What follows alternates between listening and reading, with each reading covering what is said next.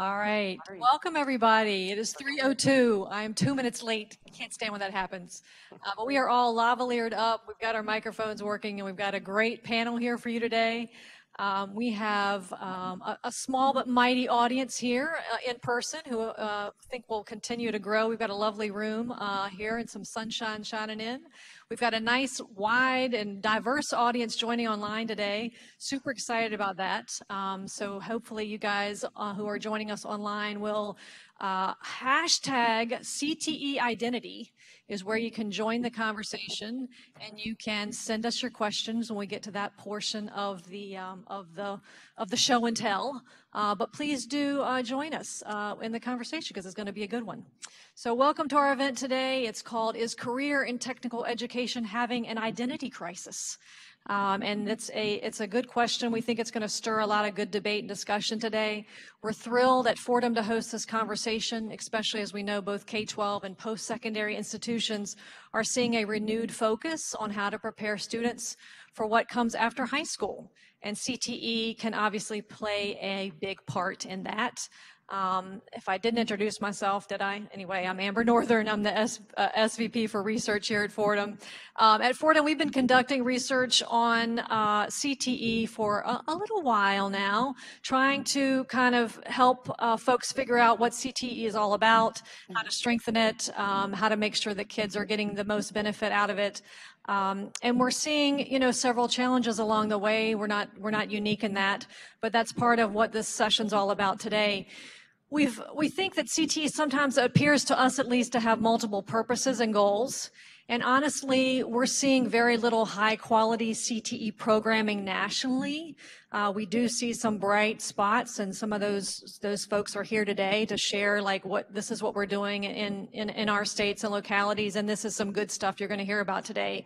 But speaking broadly, there's a lot of room we think for, um, for you know, pushing the ball down the court in terms of high quality CTE programming.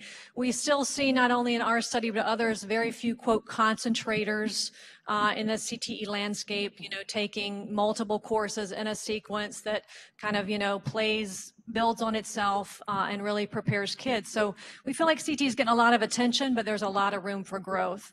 And so sometimes it's really not clear you know, kind of what we mean by CTE. Do we think that we want all kids taking traditional college prep with maybe a little CTE on the side? Or do we think we want kids to sort of, quote, choose a pathway and maybe spend their last couple years of high school really digging into serious industry prep? Um, it just seems to us and to, to, some others that there's a lot of confusion still around what the purposes of CTE is. Is it trying to be all things to all kids? And is that really possible? And, and if we think it should be, then how do we get there? Those are the types of questions we're going to dig into today. Um, we just really want to think about how to make these programs uh, stronger, and, and, we know sometimes that's hard to get it right. So I'm going to ask our es- experts a number of questions today that are intended to address these questions, to get at the real purpose and the real identity of CTE. I anticipate that some of them are going to see these questions uh, differently, which is great, and that's going to make for a much uh, more robust and interesting discussion. Um, but again, the, the goal is really to try to improve uh, CT programs, which is what we, we all care and want. I'm joined today by an incredible panel. Uh, they have a diverse background in CTE. I'm going to refer to them briefly by name and affiliation now, but in a minute they're going to be introducing themselves and they're going to be telling you a little bit more about the work that they do and the organizations they represent. Um, I think uh, what you're going to find is that they hail from research, industry, policy making, and the school building and State Department sectors. So we've got we've got all these different angles, and it's going to become really interesting uh, to you guys as you hear them speak because they look at CTE from different lenses. Um, and that's what makes this this panel really really interesting. So in ABC order, um, we've got Sandra Clement, who's the principal from Foy H. Moody High School. We've got Kate Kreamer, who's the Deputy Executive Director at Advanced CTE. We've got Romanita Matta-Barrera, who's the Executive Director of SA San Antonio Works, EVP of Workforce Development at the San Antonio Economic Development Foundation. We've got Cameron Sublett, who's the Associate Professor of Education at Pepperdine University. And we've got Kylie Whitaker, who's the Associate Assistant Director, rather, of Office of Career and Technical Education and Student Transitions at the Kentucky Department of Education. Uh, we're going to start in a minute with Dr. Sublett, who's going to do a 10-minute presentation on his latest study that he co-authored with Fordham's David Griffith. It's called How Aligned is Career and Technical Education to Local Labor Markets. Uh, we had the pleasure of working with Cameron on the study that we released last month. Uh, and, and really the study breaks new ground in its examination of whether students in high school CTE programs are more likely to take courses in high demand and or high wage industries. Uh, he looked at this question nationally and locally. After Cameron goes, it's going to work like this. I'm going to ask each panelist to introduce themselves briefly. I'm going to pose the same question to the panel, which kind of relates to this what's CT all about kind of kind of focus. And I'm going to ask them to respond to that question as well as introduce themselves, hopefully within five minutes, because we like to keep things moving. Um, and then I'm going to ask a specific question, probably of each panelist. Uh, we'll see how time time goes um, and I, that will be more directed to their particular experience. And then we're going to hopefully have people jump in. We really want this to be a conversation, and we were actually hoping that we could do the chairs differently and have them facing each other, but we're going to make the best of it like this because we want it to be a discussion. We don't want it just to be this stilted thing. So we're going to try to get them to engage with each other um, and, of course, with you guys. Um, and so this is not so scripted and stilted. I'm going to save ample time at the end for discussion uh, and audience questions as well. So uh, if I don't, Madison, say stop. Uh, if, if we find that we haven't saved enough time because we want to do that. Um, I think that's it. Did I forget anything? It sound, no. All right. Cameron, you are up. Excellent.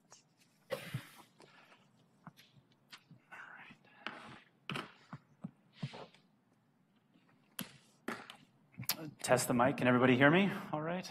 Okay, great. So I have 10 minutes with you uh, at the outset here to discuss a report that uh, I recently co-authored with David Griffith in the room here um, from Fordham. And we're really excited about this report. As Amber said, we feel strongly that it does break uh, some new ground um, with regard to its methodology. Um, with regard to its findings, I think if you read the report, uh, you'll find that it opens up many more questions than it closes. But with the time I have with you right now, I will generally summarize that report. So uh, first thing we did, uh, David and I, as we identified what we perceived to be a gap in the existing literature um, around this largely held and espoused assumption that students are or should be taking CTE courses in high school in a manner that aligns with their lo local labor markets. And this assumption is quite ubiquitous in the public dialogue around CTE. It's also in the legislative language, but uh, as far as we could determine, we didn't notice any existing empirical research into this assumption. And so that's what we were really trying to do with this study, hence the study's title, How Aligned is Career and Technical Education to Local Labor Markets? So we asked three primary research questions in this study. These research questions are up on the screens there for you. First, we wanted to know to what extent does the national CTE course taking patterns reflect the distribution of jobs across fields and industries? So in other words, are students taking classes writ large that resemble or mirror the jobs that are available? Um, second, we wanted to see to what extent CTE course, in, course taking is linked to local employment and industry wages. And then third, we wanted to see how patterns of CTE participation, course taking, concentration, differed or varied systematically by student subpopulations such as gender and race or ethnicity.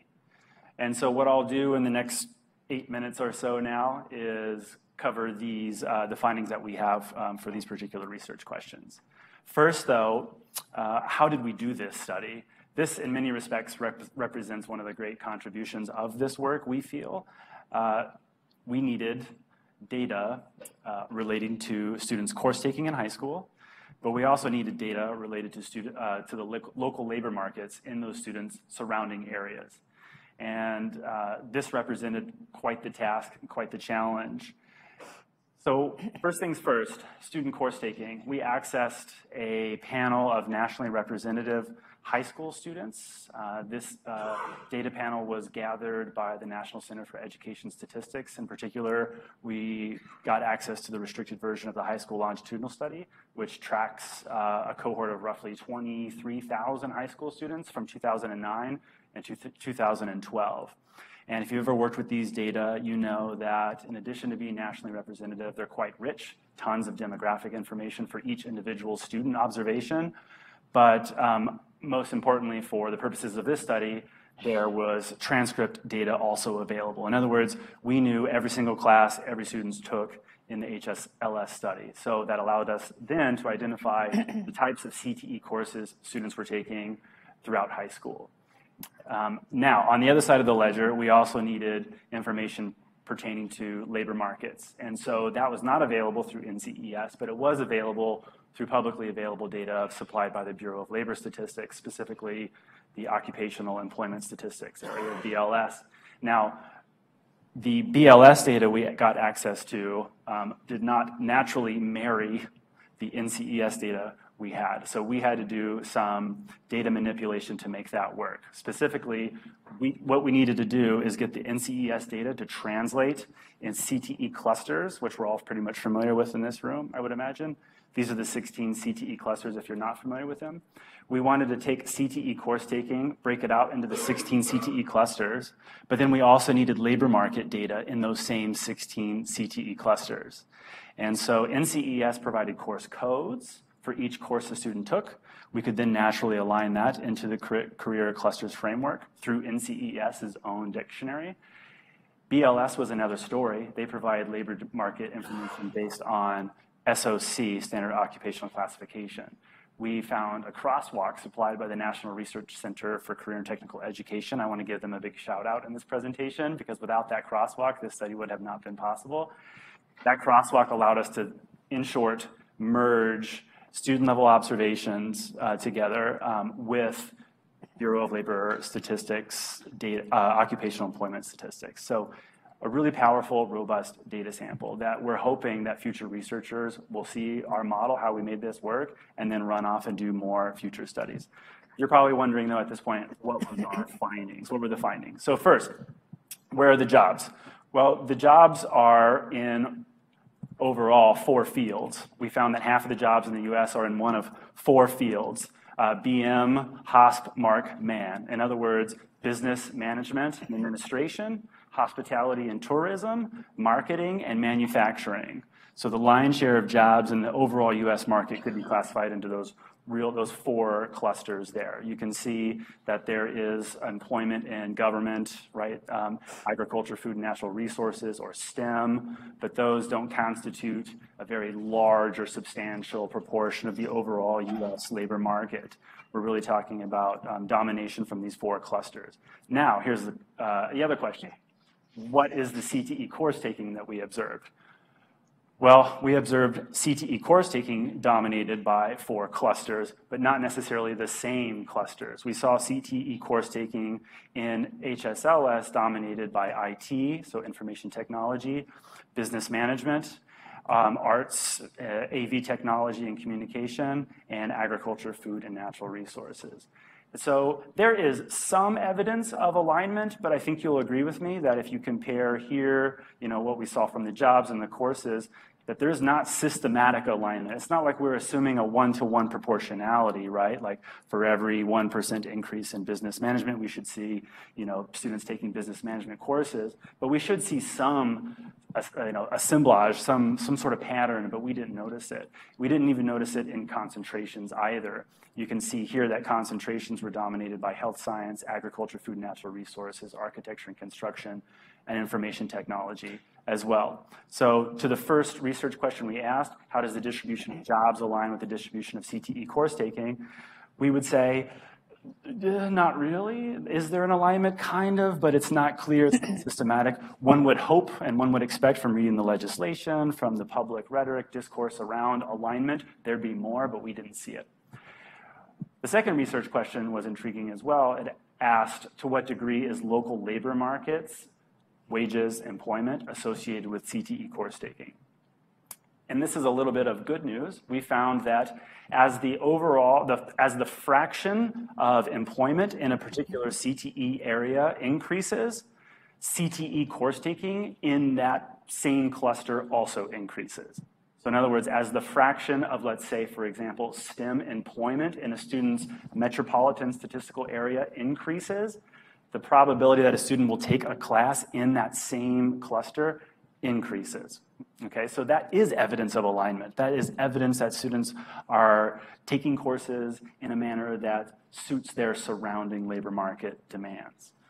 What we didn't expect to find, though, is this association, namely that as wages in a particular cluster increased, probabilities of CTE course taking in that same cluster decreased.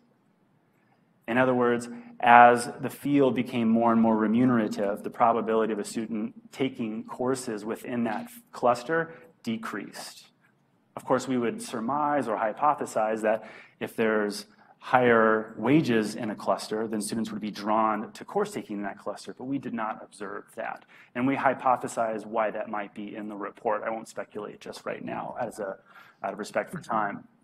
Um, to the third research question, was there systematic stratification, variation, uh, differentiation by race and gender?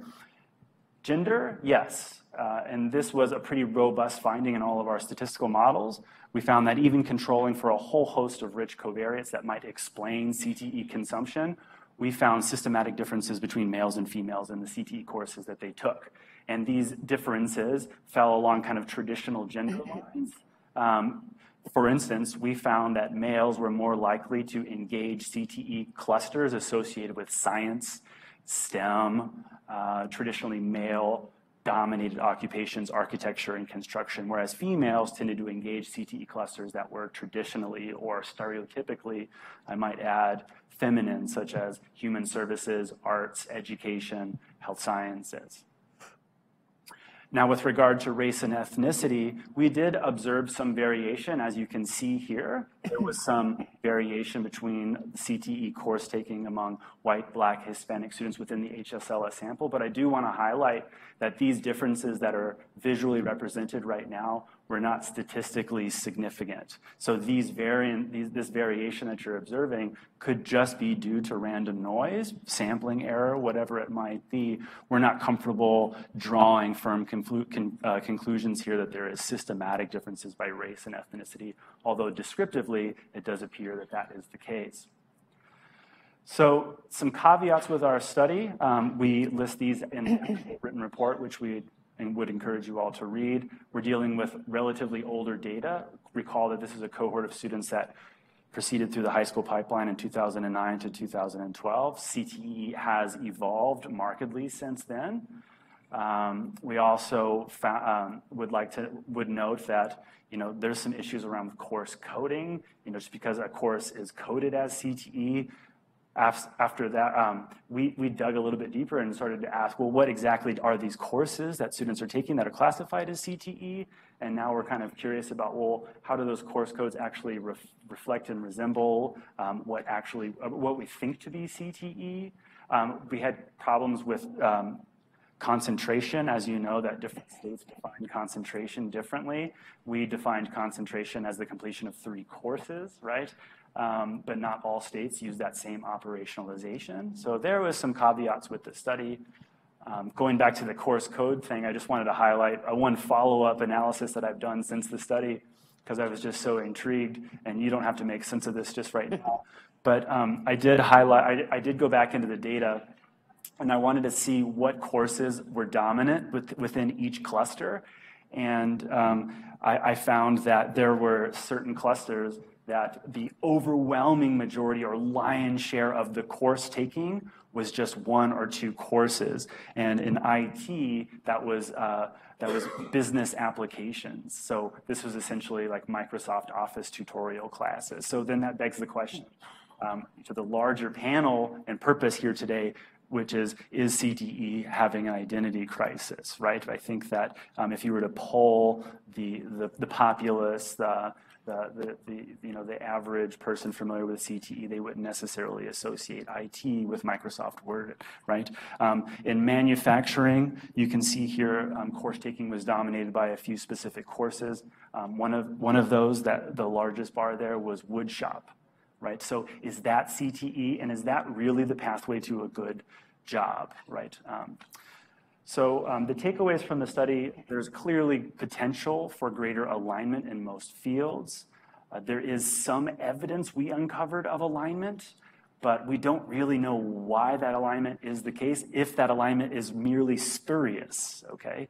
Um, what we would like to see is future researchers compile the data as we did uh, maybe even better, and uh, investigate the findings that we report here in maybe novel ways to shed additional light. I think um, I look forward to our panel discussion today about alignment. What does that even mean? What is the purpose of alignment? Um, and I'm sure we'll get into some of the inequities that we uncovered in the report there too. But um, I would encourage you all to go and read the report. We look forward to your feedback and are happy to make what we feel is a strong contribution, but we're happy to be here in this room to have a larger discussion about what this means and where do we go from here. Thank you very much.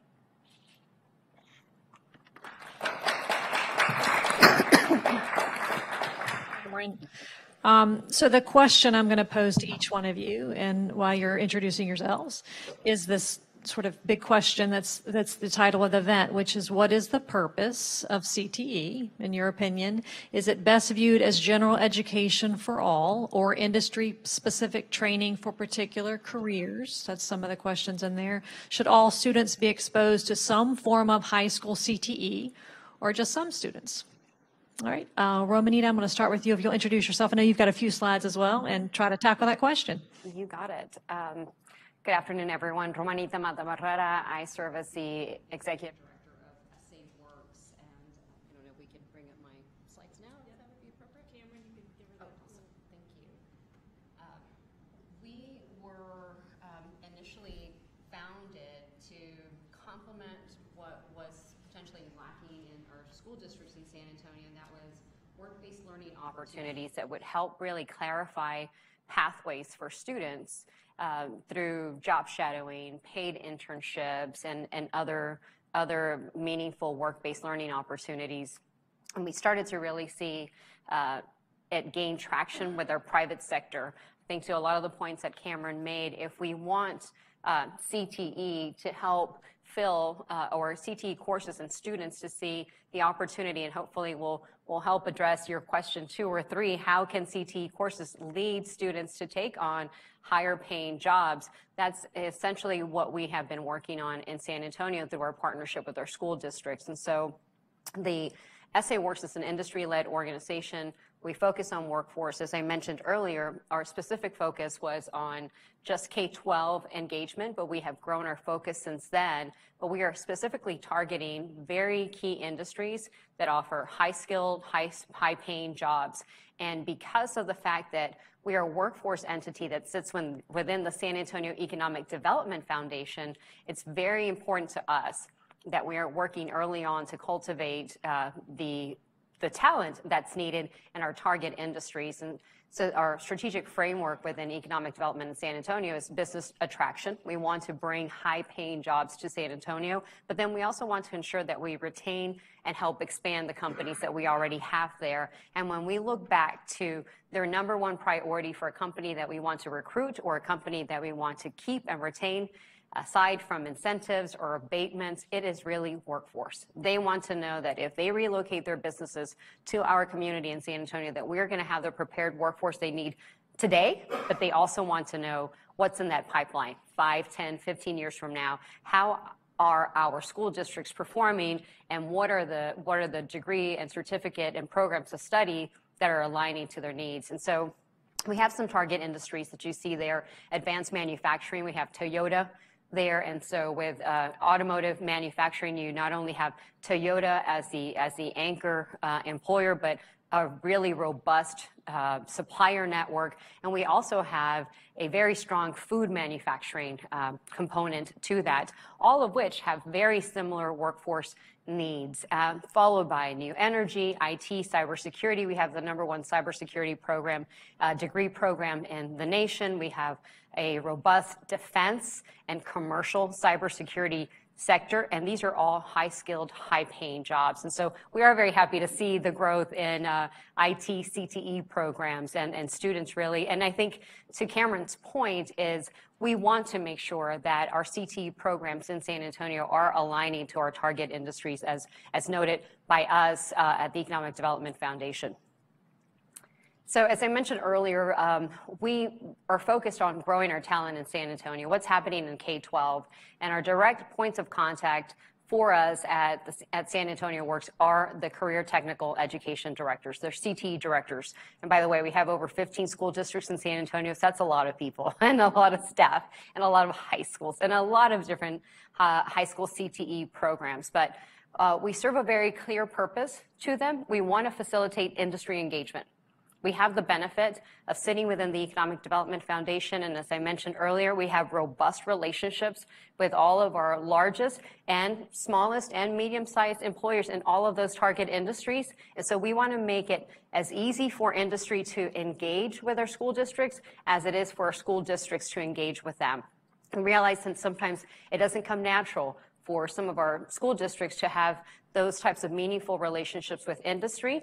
Uh, we want to help facilitate that engagement, everything from helping them build up more robust CTE industry advisory councils. So identifying the folks that are really going to roll up their sleeves, come in, and provide meaningful information and resources, from uh, curriculum advice to donation of equipment, and even the how to utilize that equipment as well. Uh, as well as also helping partnering with them when they're going out and seeking grants from the state and the federal government as well. We always partner with them, and uh, in Texas, we have seen a big shift towards, and I'm sure everywhere, uh, partnership and collaboration with the private sector. So instead of them having, and school districts having to potentially go out to every single one of these companies, we serve as that one convener and facilitator for them. But obviously, we're very much interested, too, in addressing how we can look at our adult workforce in San Antonio as well for upskilling, retention, recruitment purposes. So I'll go very quickly on to just some of the work that we do around experiential learning, and this is really where we partner with our with our school districts. Uh, we want to bring industry to the table wherever they can across this experiential learning continuum to really provide that exposure to students. Uh, back to Cameron's data and research, we are very intentional about ensuring that students and their parents and the educators are aware of what are the high-paying jobs in San Antonio and what it's going to take to ensure that those young men and women are successful at them, and also to um, demystify any misperceptions about specific industries, like manufacturing. I'm sure if, you if you think of San Antonio, manufacturing may not have come top of mind to some of you, and that's still the case sometimes in our own hometown, and we want to make sure that uh, young women, in particular, and so our private sector is very committed to ensuring, Toyota in particular, uh, leading the way, along with many others, to ensure that more females are accessing manufacturing and really just uh, learning more about the economic mobility and opportunities offered there. We also produce a jobs report um, biannually, and actually, uh, we have the 2019 just being released today. And we make it a very simple jobs report that anyone, whether they're in high school and they're a student, or they're a parent, or they're uh, an adult that's transitioning careers, that they see which local employers are hiring in San Antonio in three of our target industries: manufacturing, IT, and healthcare. And I just put up manufacturing and healthcare, so you could just see a quick snapshot, but it's very easy information for somebody to consume. And we're highlighting what are the educational levels required mm-hmm. in each one of those jobs. So these are the top 10, top 10 posted jobs by our local employers, as well as the mm-hmm. salaries, your average annual salaries that you can earn. So it really just helps bring to our general population, as well as our post-secondary partners as well, a better understanding, but also our K-12 partners at the CTE level to better understand that we can put young men and women. So a little bit to answer your question, Amber, about what is the purpose of CTE is, it is that alignment to high-paying jobs, and ideally, put them on a path to college and career, um, and and really um, help build their technical and marketable skills, but they've got to have awareness around what that's going to take. So we provide a little bit more of a deeper snapshot as to which marketable skills, essential, and technical skills. So we also classify the certifications within each one of these sectors in our jobs report. So a student can really walk away with some basic knowledge, and then who are our top five employers in San Antonio for each of those? And so interestingly enough, we have a very large um, grocery retailer in San Antonio, H-E-B, or they're based out of San Antonio, but they're across Texas. And it really helps when you see H-E-B pop up as one of the top manufacturing employers, because they are a food manufacturer, but a top IT employer because they're in e-commerce. And so it just really helps us uh, kickstart an interesting conversation with our educators and our students. Um, we do a lot of our experiential learning work. Job Shadow Day, in one single day, we mobilized around 3,000-4,000 students across 120 employers, and that takes real buy-in from our school districts. We work very closely with them months ahead of time to identify a day when juniors and seniors won't be testing, a day where they can mobilize their transportation department to take students across all of San Antonio. And then we bring to the table employers. Employers who are gonna open their doors for a half-day experience to really expose these young men and women to these very interesting careers. We try to stay within our target demand industries, but we also are very uh, cognizant of the requests that we get from various CTE programs. A lot of requests for law and law enforcement, others, um, and so we try to uh, meet their needs as well. But just as importantly as exposing youth to industry, we also believe that there's a lot of opportunity for upskilling our teachers and educators. And so we also partner with our school districts for a teacher externship during the summer, where they also spend a couple of... Throughout a three to four week period out of their summer, they're spending some time with some of our employers to see how math and science is actually being applied in the workforce, and then how they can take that relevant, that relevancy into the into the uh, into the classroom and be able to create project-based learning plans as well. Just as an example, in terms of the engagement with our with our private sector, I mentioned Toyota earlier. These are slides taken directly from Toyota Motor Manufacturing, Texas, right? This is their community engagement strategy. It really takes, I believe, meaningful employer industry engagement at all levels. And you can see in the case of Toyota, they're looking way long term, right? They are engaged in our in our uh citywide pre-K program. They're starting very early, so they're looking at this very comprehensive workforce strategy. But I will highlight to you, they see career technical education, CTE programs, as part of their strategy to fill their short-term workforce needs. So that's very important. They are working very closely in partnership with some of our key CTE programs in San Antonio to really strengthen them and to be able to be more responsive and in alignment to their to their needs. Um, just a quick slide about the experiential learning impact of our internship program that we have over the summer. We pound the pavement, starting in November, to ensure that employers are budgeting in the next uh, fiscal year, to ensure that they will take in students uh, and paying them uh, above the minimum wage. We know that we're competing with other summer jobs that are more traditional for youth, and we wanna make sure that youth are choosing our meaningful experiential learning job opportunities and our meaningful internships. Um, but they need meaning, and they need paid salaries, too. We are also seeing uh, in San Antonio, we have a large income disparity, and so there's a lot of poverty among our youth in San Antonio, and we wanna make sure that they're well paid. So just last year, we saw about a $1.29-$1.3 million economic impact on youth employment, just on the high school students that we directly placed. Um, and so that's really important to, to us to see that, but it's also the impact in terms of the surveys that we're collecting and information that we're collecting from them in terms of how they are viewing different career pathways that they didn't necessarily consider. So just some quick stats on also employers are really seeing their engagement as part of, of identifying entry-level talent. They're seeing it as supporting their next generation of talent. So we try to say you can only tug at their heartstrings for so long. You've got to make it part of their overall uh, talent development strategy, and it's got to be meaningful ROI. And so we're happy to say that employers see that. And again, most of these students are coming from our CTE programs because they're seeing them that they also possess some of the technical skills that they need to be able to be quickly placed into these internship programs.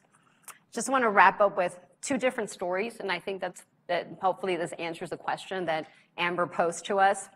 We have this young man um, who was highlighted in one of our local newspapers, Jacob, who went into a construction internship as he completed his, his high school year. And prior to that, he really wasn't sure what he was going to do. He had gone through some, some programs, CT programs, but the reality was college was not in his future, at least not immediately. The internship opportunity at Joeris General Contractors really gave him that opportunity to use some of the technical skills that he had learned.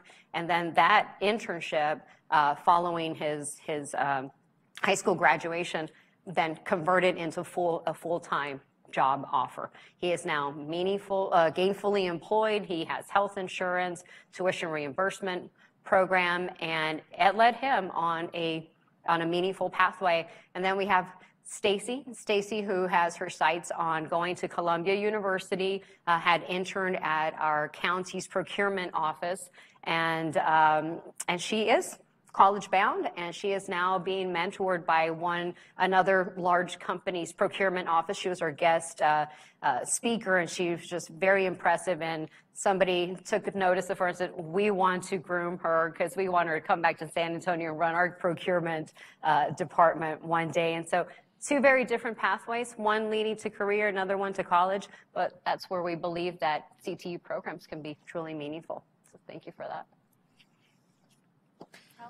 So I'm Kylie Whitaker. I'm with the Kentucky Department of Education. Um, not a real unique organization, so I won't have to explain our organization. Um, but I do want to tell you that my office is the Office of Career and Technical Education and Student Transitions. We just went through a reorg uh, that student transitions piece means that we're now in charge of uh, minimum high school graduation requirements in addition to CTE, uh, dual credit, AP, IB programs. Uh, the counselor liaison is actually in my division, uh, working with me on a daily basis, uh, trying to get school counselors more involved with CTE and with graduation requirements, and that graduation requirements are bigger than just uh, the credits that students have to earn, but trying to match those to what students actually want to do after school. And so uh, we're not a traditional CTE office uh, because we've merged so much with um, all of high school requirements. Um, in addition to the fact that we are working very closely with middle school counselors to uh, work on the individual uh, learning plan for students. Uh, that's also in my division and um, career exploration which is in our division as well. And so, um, kind of comprehensive uh, look at the work that we do in that office and how they all merge together. So, um, but but to go directly to the question that you asked, you know, Kentucky really views CTE as that stepping stone to the next thing that students are going to do after high school and after school. And so, our big focus is really designing career pathways uh, with a secondary to post-secondary component. Uh, that has multiple on and off ramps uh, with different jobs requiring different amounts of education that are then going to pay different salaries with students and really educating students on what those possibilities are all along the way, uh, trying to meet students at their really their point of need. Um, not every student has the same goals in life. Not every student's going to the same amount of education in life, and we're trying to show them through these pathways how they can meet their goals, regardless of how far they want to go along that uh, course.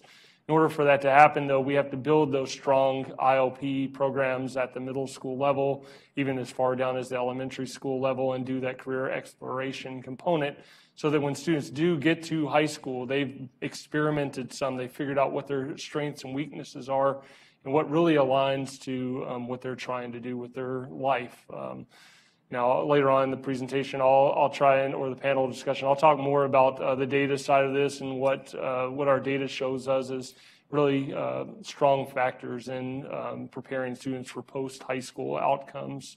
Um, but with that, I'm going to turn it over to Kate. Hi, good afternoon, everyone. I'm Kate Kreamer, the Deputy Executive at Advanced CTE. We are a national nonprofit based in the DC area that represents state career technical education directors and other state level leaders who oversee career tech across the country. Our members are all 50 states, DC, and the US territories, and represent K 12, post secondary, um, and workforce development because CT is all of those things. Um, so we are really a policy advocacy organization that represents our interest here, but also um, answer a lot of questions about what is the purpose of CTE. Um, and we've, we take a very broad view of what CT is. Our definition is that it's an educational pathway that is preparing students for the career of their choice. So that is intentionally broad um, because it is all of those things. It isn't just one thing. And so when I think about this question is, as CT having an identity crisis, no, I think it's it's it's it's been evolving for years, for decades. Um, it's probably important to know that the career clusters have only have been around for less than 20 years.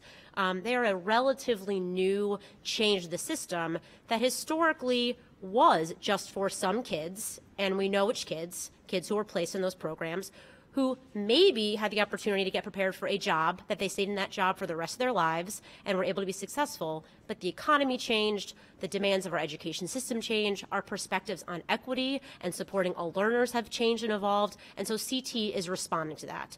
So it's a little messy. It is a lot of things. Um, it continues to con- grow in terms of the students it serves the industries that it aligns to, but I think we've made a tremendous progress. We'll keep talking about that. Um, but keep in mind that CT starts in some states in elementary school, increasingly in middle school, includes high school, and goes into post secondary and beyond. So, depending on where students are engaging with that system, they need different things from it. And so, it does need to actually serve a lot of different students in a lot of different ways. So, in middle school, it is about exploration. It should be about giving all students exposure to the career opportunities in their communities and not just in their tiny town, but in their region and in their state to really open up all those opportunities. In high school, there should be every student should have access to high quality CTE. Any courses that are offered should be part of a sequence that is intentional, that builds, that starts broad and gets more occupationally specific over time. And I know I'm sure we'll dig back into that. Um, we've got some work to do to build those pathways, to make sure they're quality, to make sure we're attending both to access and to the student supports that are needed. Um, and then when you move, it should be moving into post secondary because when we look at where the good jobs are, by and large, they are not available without something beyond high school. And so the CT system has shifted to be responsive, looking at they need to build pathways into post secondary. They need to offer industry credentials that are of value, um, not just easy to get, um, but are the ones that are really demanded. Again, we have more work to do. We can unpack that. Um, Microsoft Office is a good conversation to have. Um, so there's a lot of what has been, what needs to be. I will say states have made a lot of progress in the past decade. They're continuing to make a lot of progress. There's a lot of hard and honest conversations happening. We are not there, but I, I do think it's important to to acknowledge how far we've come, but also keep in mind how far we have to go. So I'll pause there. Hi, I'm uh, Sandra Clement, and I'm the principal at Foy H. Moody High School in Corpus Christi, Texas. And uh, we run about close to 1,700 students at, at Moody, and we're uh, an inner city school on the west side of Corpus Christi, run about 90% economically disadvantaged kids who live in poverty. So for us, our CTE programs target helping our kids get out of poverty, uh, sinking their teeth into something that's going to be valuable to them. There, many of them are first in their family to ever graduate from high school. So there's no one at home to say, this is the career you should take, or this is the pathway you should take. And, and Katie was uh, very clear about something, and that's middle school should be exploration. What, what we have at least targeted on at Moody High School is that it, at Moody, you're on a coherent course sequence. You're on a pathway. You're on a four-year pathway to some to some pathway of study in CTE. 76% of our students are on a CTE pathway. 76% because we offer different academies. We have six academies on campus. We have a health science academy, we have a STEM academy, we have a law enforcement academy, we have a culinary arts academy, we have a, uh, our newest Moody informational uh, technology, audio video Academy and we have a Teacher Prep Academy. How did those academies come into play? Some of them have been there for a long time before I got there uh, to some degree and, and some stronger than others. One thing that we started doing years ago um, was that we started looking at our in-demand occupations uh, forecast that's issued out every year by our Workforce Commission, and we look at what's available out there, because when you're looking at what's the demand in need out there, what's the best uh, wage earning out there, I know that there's gonna be industries out there I'm gonna be able to tap into, so that our students will be able to have that experiential learning, so that we can get them the certifications and the industry credentials that they need, so that they have a better ability, an edge, in front of them to be able to make it easier for them to transition into the workforce or transition into post-secondary studies or the military. Whatever pathway they choose, we want them to be able to have the ability to do that, to get a pathway, to sink themselves into that they belong to something, that they identify with something. We were talking about whether CTE is having an identity crisis, and, and I agree with Kate. It's, it's not. Sitting on a campus where I've had thousands of conversations with high school students over the years. And, and I can tell you, oh, this is going to pay a lot. For them, it's also this generation, it's about passion. It's not only what, what am I going to earn, but how am I going to love the job that I'm going to do and how am I going to make a difference in it? So there's a, there's a, a qualitative influence there for our students that this generation, it's, we'd like to think, oh, I'm going to go to the highest paid wage earning mm, I'm going to go to where I know that I'm going to be happy. That piece of it. Well, then I want you going somewhere. And so for us at Moody High School, that's our key as we look and we've adjusted. We've had to drop some of our, our career academies that just were not conducive to the labor market. It, as, as was stated in your study, which I think was phenomenal, by the way, your data, I'm going to look at it further. Um, but looking at that, also, where would that take them? Or where would that not take them? And we've killed them. And then we've started new ones in, in the areas that we knew there was a big demand, they would get more scholarships for, or more interns, more rotations for. We work very closely with our business partners in the community because we're building their workforce. They're invested in our advisory boards because of that. But I've got to tell you, on a campus, at a high school campus, CTE is a very purposeful and strategic program. If it's not, then it's an elective. And CT should not be an elective. It, at high school level, it needs to be a pathway towards some type of career plan. And we'll talk more about that, but I appreciate being here. Thank you. So I'm going to try to direct a few questions to, to specific panelists here. Um, Kylie, I'm going to start with you. So I'm hearing you guys loud and clear about strategic, purposeful. Um, so my my core question is how much CTE do kids need? Okay, for you, um, but but also just trying to clarify for some of us who maybe don't entirely understand what a pathway is. Okay, so we hear a lot like, well, we want all kids to have college prep courses, and I'm just trying to figure out in high school how you do all the college prep stuff and the CTE pathway stuff, and whether there's some core courses that everybody gets, and there's some that the pathway takes you off in this di- different direction. So I guess just talk to us a little bit more about how much CTE is enough and how you fit it all in.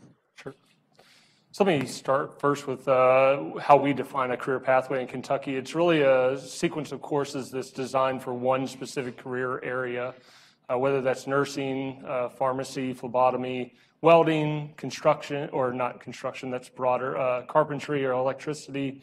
Um, but, but basically, it's, it's a non-duplicative sequence of classes with both an, both an academic and a CTE component uh, that's from secondary all the way through post-secondary based on that industry career area. So with uh, registered nursing, the pathway is going to be designed from high school all the way through that bachelor's degree. With electrical, uh, most of our pathways are going to be designed with uh, high school through the associate's degree program or high school through an apprenticeship program. And so um, we, we found that uh, NCES's CIP codes list was not specific enough. And so we actually Kentuckyized the CIP codes to get to our career pathways. And so where NCES's CIP codes are six digits long, Kentucky's are eight digits long to, to make those more focused pathways. And so um, just a little nuance from the study that you did, uh, we, we had to get a lot more specific in order to get to the pathways in, in the way we define pathways. But there is both that academic and that CTE component to it, uh, which speaks to um, kind of that college focus and career focus both. And so it's really a college focus based on what they need for that specific career. And so if it's uh, nursing with that bachelor's degree in mind, there's certain classes that students are going to have to take if they want to get to that bachelor's degree. And so designing those pathways specifically with those courses in mind on both the general gen ed and the CTE side to get to that. And so um, I can probably go into that more later, but going back to the first question that you asked about how much CTE is really needed. Um, so it varies depending on what your uh, idea of success is. And so I'll give you the first step in success. If we can help a student figure out what they definitely don't want to do when they get to post secondary and they don't waste money on it, while they're in high school, then that's success to us. That's not our ultimate goal, but if we can get there and save students student debt, college loan debt, which is a huge crisis now, um, that, that is a form of success. If we can get students to a concentrator status, which right now we define as three credits, three technical credits in that pathway, um, that, that success in the fact that they, it, that along with an industry recognized credential means higher employment and higher wages after high school based on our data.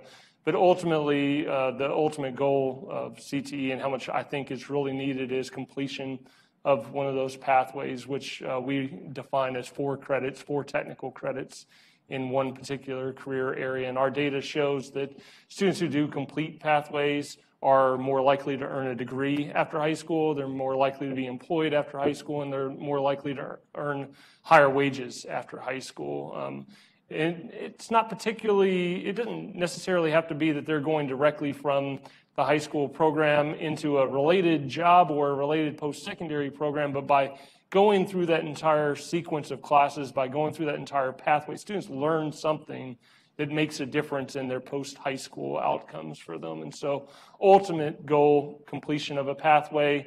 If we can't get to completion of a pathway, if we can get them to concentrator plus an industry recognized credential that has value, Kate, um, that, that is going to be successful. Um, but if we can at least save students some money um, after high school, that, that's a form of success for us. So just so I'm clear, so the ideal is you come in at maybe ninth grade, because in middle school, you've spent your I time can speak to exploring, right? You've, you've been the explorer in middle school. Time you get to ninth grade, you're like ready to say, hmm, I think I like this pathway. Maybe I want to be a nurse. And then what you're saying is at the high school level, you're, you're setting them up and saying, hey, this is what you need to do after high, high school. It's like you're, you're actually doing some research for them and saying this is what you need to be, doing at the community college or the four-year level, or, you know, if this is, you know, if you need an industry certificate, this is what it takes. So you're doing all that legwork for them to give them that information. And then what if they aren't ready at ninth grade to do a pathway? Are they just, uh, I guess I'm just trying to figure out like when is the point where you kind of force their hand, right, to say this is kind of what I'm interested in doing? So a couple things there. Um, if we have school systems in Kentucky where at the middle school level you really don't know what high school you're going to. Um, there's there's a lot of student choice, and so designing specific middle school programs that are going to lead directly into those high school programs is sometimes not possible. And so many of our high schools do offer a ninth grade career exploration component. Um, I, I, strongly believe in middle school career exploration and with beginning a pathway in ninth grade. Where that's not possible, I do think that you have to allow some career exploration to happen, or else what you're going to find is that students do hop from one intro level class to another intro level class to another intro level class, trying to figure out what it is that they do like to do. And so building those strong middle school programs and where not possible, that strong ninth grade program to allow a student to then go into a pathway. Um, I don't like the idea of ever forcing a student in at any certain time. And so we do have students who begin pathways um, in 11th and 12th grade um, before they've kind of figured out where they want to go. Um, like I said before, that's not our goal, but there is a form of success with that if they can figure that out by 11th or 12th grade.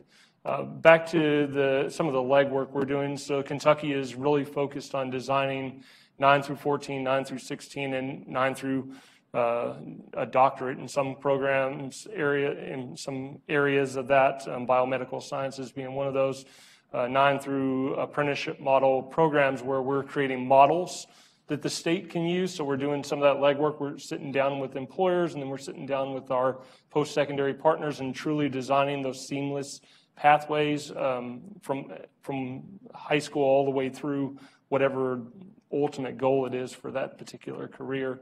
Um, but they're models, and so we can't do that for every single school in the state. But our models can then be taken at a local level, and they can sit down with their own post-secondary partners and say, okay, this is what the model is. Where do we need to switch it in order for that to happen? But but a lot of that legwork is happening at the state level and needs to happen at the state level to create those models for schools to understand. And then our state was um, I, I, don't know if we were forward thinking enough or what, but as part of this work, where we actually redesigned our minimum high school graduation requirements to allow more freedom um, in choice, where uh, the math, the English, the science courses are designed to be personalized based on what the student's goals are. And so, if it's a, a nursing path, then one of those math classes would be medical math, as opposed to the traditional uh, Algebra 1 geometry, Algebra 2 pre-calculus sequence of math classes. And so um, that work does have to happen in order to design a true pathway for students. Can, can I jump in on yes, one thing? Because you also asked about how can you fit in the schedule both the CT and the kind of college prep, and that's an issue, right? I mean, scheduling is definitely an issue, but I think the states and communities that are taking CT really seriously and focus on quality like Kentucky, like Delaware, like Ohio, like many others, are embedding early post-secondary opportunities in their CT programs and programs of study. So every single Tennessee program of study has an early, has a either dual enrollment, AP, IB embedded in that program of study, signaling to students that's how you take. They now have closed the gap between CT and non-CT students earning early post-secondary credits. Um, Delaware, they do not approve a program of study but does not have a dual enrollment component to it that is in that technical sequence of courses, so that that is signaling yes, you probably need post-secondary education. We are going to be very intentional that these pathways are, are being built so that they can give you that, that smooth transition over. So it may, may be the AP in courses where that makes sense. Um, it may be a dual enrollment where that makes more sense. So I think that is where the field is going. Um, again, responsive to where the economy is demanding um, the skills and the degrees and the certifications. Do you mind if I follow up one more time on that one? Because the models that we're creating, there's every model is actually three models, uh, with with one model being um, starting dual credit college classes at the ninth grade level. Another model is starting dual credit classes at the 11th grade level, and then the third model is all high school classes but showing how those high school classes feed into that post-secondary component. And so um, we're doing that specifically because not every student's ready to take dual credit at ninth grade. Not every student's ready to even take dual credit at 11th grade in these cases. And we want to create models that can be used regardless of where that student is in their path and with their uh, goals in life. May I jump in a little bit? I'm going to talk a little bit. Um, and just to kind of dig deeper from the high school end, when we look at our kids coming in for ninth to 12th grade, you're right, the middle school is the exploration piece. That would be the best opportunity. The best model would be that they figured out then, and not to say, I've had, I had a valedictorian that came in to study medicine because he wanted to be a physician, extremely smart, went through all his four years, took principles of health science, medical terminology, dual credit, went into rotations his junior year, and then practicum his senior year. Because our four-year study, if you look at, at we were talking about what courses, all of them in ninth grade are usually of principles, principles of law enforcement, principles of culinary, principles of uh, teaching and learning, and then they build on from there. We have introduction to engineering that then leads into principles of engineering that then leads into educational, I mean, engineering design and development. So there's a sequence of courses that continue with rigor, and all of them include either pre-AP, pre-advanced courses, dual credit or dual enrollment courses. But that being said, when we look at that, and you were talking about that, we, we look at uh, that one that one valedictorian that I had. I remember his valedictorian speech. I'm glad that I learned that I came to this four-year program. I'm glad because it taught me that I did not want to be a doctor. It taught me that with all of my math courses that I had to take that were advanced for this program, Realize. I'm an, I want to be an accountant. I fell in love with math. I fell in love with that type of, and for us is the structure. The structure of getting this youth before they get to college or to the military or to the workforce directly They've got some type of structured plan. Do they not, they're teenagers. If I hear one more one of them say, I'm in love, I'm just going to throw up. and so, and I tell them that because they, they have to be rerouted. The, the key piece is our counselors and their relationships with their teachers and with their principal is to ensure that they stay on track. No, you're not allowed out. You made this choice, and it doesn't mean you're going to be a nurse or you're going to be an engineer, or you're going to be a jailer. No, you're graduating with your jailer certificate um, or an EMT. It means I've learned that what I can, I've gained so much from a four year pathway course of study that's going to take me on to whatever it is that I'm going to do, whether it, it, it, in any capacity. That's what we're building. We're not building a random traditional high school that's not conducive to kids. It's not conducive to our workforce. And we've got to prepare them to be successful out there. I don't want them to only be successful at Moody. I need them to be successful when they leave. And so that, that's what kind of drives our CTE program. All right, I'll play devil's advocate again. This all sounds great. Um, but how in the world can every district, much less every high school, do all of this well? Right? I mean, I'm just trying to think are there certain clusters or pathways that high school is particularly well suited for? And maybe some of these other clusters, Cameron showed us the, all these little short names for the, all the clusters. There are a lot of them there. Um, and, and, and you talk to district superintendents and, and principals of high schools, they're like, we just can't do all of this, right? So I guess, Romani, let me start with you and talk to us a little bit about whether you think there are certain industries or careers that high school CTE is particularly well suited to address. Well, I would hope that those in the target demand industries for, for us in our community and, and other communities as well, you know, something that we hear and I love Sandra's passion and those of other educators is we really want to graduate students to be successful beyond our high school. We want them to have to be self-sufficient. We want them to have access to opportunity and economic and social mobility. So I think those industries that offer that should be those that are best suited for CTE programs, and in my humble opinion. Uh, but I also know that in many cases, there's some real barriers and challenges that school districts and our um, some of our lower income school districts have, and that is in in the teaching profession. Sometimes they just can't afford to hire uh, an educator who already has the experience to really create an, a robust IT, computer science, CTE program. Um, we're having to compete against the private sector who can afford to pay them much more. And so I think uh, a real barrier in some of our um, in some of our poor school districts is just being able to just compete to be able to hire that talent or to train the talent as well. And that's something that we often hear from from industry as well is they just don't see some of our educators having the level of industry knowledge, especially in IT and in manufacturing, that is changing all the time to be able to teach what they need today. But they're also stepping up and saying, how can we be helpful? And I think that's that's really important. I think we're often talking about uh, a workforce that's going to be uh, reskilled and upskilled, and I don't think that we often talk about it enough in the context of educators. What are we doing? And maybe from a national perspective, is how can we look at professional development also for educators, so that if we're asking them to teach in these high demand, high wage industries, then we also have to equip them with the skills and knowledge because things have changed a lot since many of them have come into the teaching profession. They, it's a vocation, I believe, and they're passionate about it, but we also have to give them the skills and knowledge to be able to teach it effectively. Anybody else want to take that one up? Any, any of these clusters that we think, eh, that's really not CTE? I'll, I'll take that up. At, at, the high school level, you're right. There are certain uh, clusters that are that will be good at any high school. Uh, uh, you can implement anywhere. Uh, health, health is for one of them. You know, everywhere you go, you're going to need a hospital. There's always access to the ability to partner with your local hospitals to provide students. It's easy to build a program where you have CNAs, EMTs, phlebotomies, EKG technicians, all of that within a program. That's easy. When we look at our engineering program, which is extremely successful and one of the most popular, we have a petrochemical industry. Well, our kids can't do internships or rotations in the petrochemical industry because they can't for their own rules for safety, can't allow them in there. So we have to get creative with other ways for them to, to be involved in, in water sampling with research and being mentored by their employees. They're very, they're very connected with us. So we find other ways so that our kids are exposed and introduced to that. Plus we have te- teacher externships that go there. But one, one key piece I think that's important is that you do look at your local labor market, not only locally, regionally, statewide. You, you have to look at that. What, what is it that, that we need? What's the industry that's going to be most conducive to the program that, and the experiential learning that we're going to provide?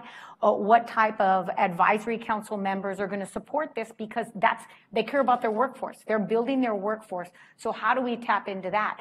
Uh, we've got local prisons. Well, my kids that are in law enforcement and, and want to study law can't go into the prison. So we look within our own district. We're a large district with 38,000 students. We've got our own police department within our district. So our students do their internships and their uh, work-based learning through our, our, our district police department, our police force. And they're extremely active. They cover games. They monitor hallways. Our kids respect them. It, it, I, I, have such, such an impressive view of them. Uh, but there's a whole lot of that that you have to look at. You're right. It's not a one size fits all. It can't be. You have to look at your region because that's what CTE, to me, is about. That's the way that we do it on our campus to ensure that we're, build, we're truly building for the workforce that's ahead for, for the people that are going to take care of us in so many different ways.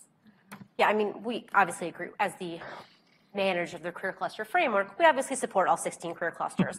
Um, and I think it, it, it, comes back to what's the demand of your economy and of your employers and where community opportunities are. I mean, we have programs of petrochemical. That is not going to be relevant in 90%, I don't know, percent, whatever percent of communities across the country. Mm-hmm. We um, recognize a culinology program from New, New, Jersey because they have a ton of food scientist jobs. And so they created a new program that blends agriculture and hospitality because they had interest from their employers that let's build this together. That's wonderful. That's what CT should be doing and being responsive. I think the other side of that is are you offering too many programs? Mm-hmm. right, in certain communities. And so looking at the saturation, right? If you're in a community, how many programs is enough? So are you overcompensating in some areas and under attending to other clusters? And so I think that's a that's a more important conversation for states and regions to have about are we hitting all of our sectors? Do we have enough spots for students? Are we going a little too much on, well, students like this, and we've got the teachers, so let's just offer more of these, but we don't have the economic need kind of on that. So I think that's the balancing act um, between kind of what, what you can offer and what you should be offering. So going along with that, um, one thing that Kentucky's focused on with our new Skills for Youth grant, thank you, JP Morgan Chase, just FYI. Uh, sorry, had to throw that in, guys. Um, is is getting different districts to work together um, to provide these opportunities. Like you said, not everyone can do everything. But if you get districts to partner together, realize that you're all doing the same thing, mm-hmm. and you can divide that up so that you can do new things with the resources. So doing that asset mapping and that gap analysis to see what are the local needs, what are we doing, what are we not hitting, what what are we oversaturating right now, um, and then partnering together to uh, provide those opportunities to students is one of the major goals of our New Skills for Youth initiative, and it's it's crucial, especially in some of our rural and smaller communities, um, because they're not going to be able to offer those opportunities, not a broad base of opportunities with small school systems. And, and if I could just touch on a little bit more of that, the 16 clusters, there's no way. We do six and we do them well. And, and for those six that we hit, we, we move out some sometimes when we review our, our local in-demand occupations and we bring in others where it's shown a huge interest.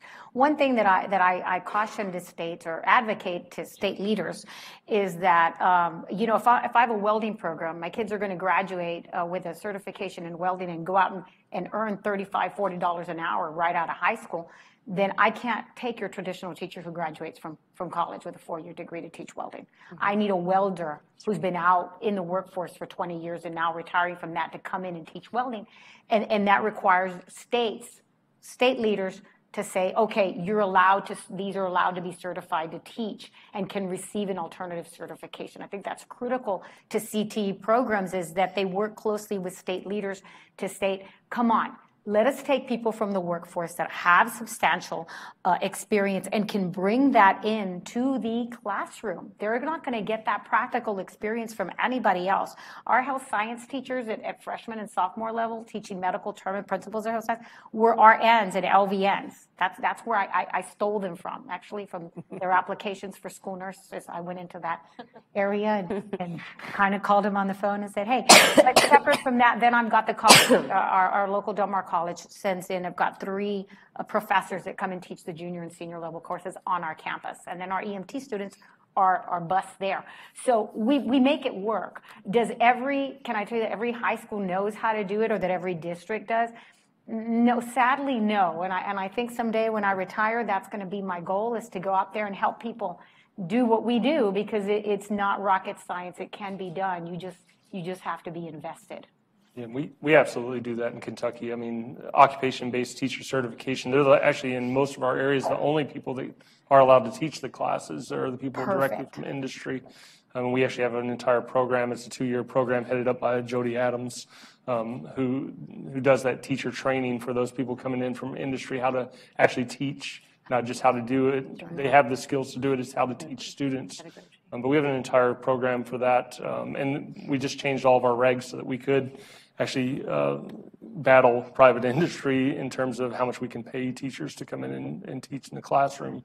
Uh, to make us a lot more competitive, we're still not competitive with private industry, but a lot more competitive. And so it's, um, we have a lot more teachers willing to come in and teach now um, directly from industry. And uh, I can't tell you how valuable that is. You're exactly right there. We're being very intentional in, in San Antonio too, just looking at, uh, to your point about overly saturated in some CTE courses, but yet lacking in others. So um, I think with our engagement at the K-12 level, we were able to really come in and start looking at the CTE landscape across, like I said, over 15 school districts in San Antonio. So what's missing? What can be in alignment? And I think there was um, overall willingness from a lot of our key school districts to make a shift, a shift in programmatic redesign and even dropping some of those, um, some of those CTE programs that they just didn't feel were going to put, especially in our in our lower socioeconomic areas of San Antonio, that would put their young men and I would say women. A lot of the young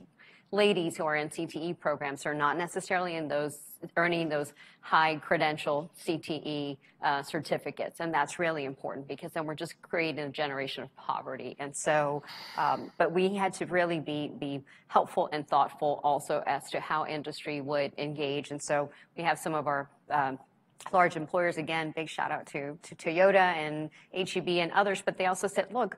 We have a pretty good system of knowing what our retirees are looking like and who's who's going to re- retire here soon. And so I think to Sandra's point earlier, it's about some school districts getting really creative about how to engage industry. And maybe if they can't compete because of salaries, maybe it is a retiree who may want and have a, a passion for, for giving back and, and can can serve as um, serve back in, in the classroom. And so we're just being very intentional about how can we start getting the word out sooner and to start filling that also that skills gap that's in the teaching profession. You guys are doing so good, just talking with each other and not making me do all the work with moderating. Can I, can I chime in? Jump in, I've got, actually got a I'll question. chime in and I'll, I'll let this one go then. I would just say uh, it's, it's really great to be on this panel and listen to everyone here answer their question in a way that I also agree with. Uh, if there's going to be a, a CTE program in high school, um, should there be, should there not be? Obviously, it should be informed by the labor market in the, the really proximal area, but then also regional area. I totally concur with that 100%. The truth is, though, is that we have exemplars on this panel, which is why they're here, right? Um, and that I don't know if we, if it's possible to quantify just how extensive this sort of approach to developing strong CT programs is. Um, I would just point out to people in the room that are curious: Is this the modus operandi for CTE? Is this CTE now? Um, the new Perkins legislation actually spe- specifically spells out the need to align programs of study um, with labor market data. And my reading of the legislation is, um, informs me that that's the first time that that's actually spelled out. I actually read four and then five coming in here, and I couldn't find any reference to labor market data in four. And then in five, it's, it's spelled out, I think, in like 134C or something like that of the legislation. So I think what we have here on the panels are, um, you know, top-notch exemplars in the field that, you know, best, that know best practices better than anybody. Um, and it's encouraging to see that, legislation is, is going to hopefully reinforce that and make it an integral component moving forward. I mean, I will say under Perkins 4, there was a focus on high skill, high wage, high demand, and then they decided to rename it in demand. Um, but I, I, will agree that Perkins 5 is much more intentional and not just the state level, but I think one of the most significant changes of, in the law that a lot of what we're talking about is what should happen is through a comprehensive local needs assessment.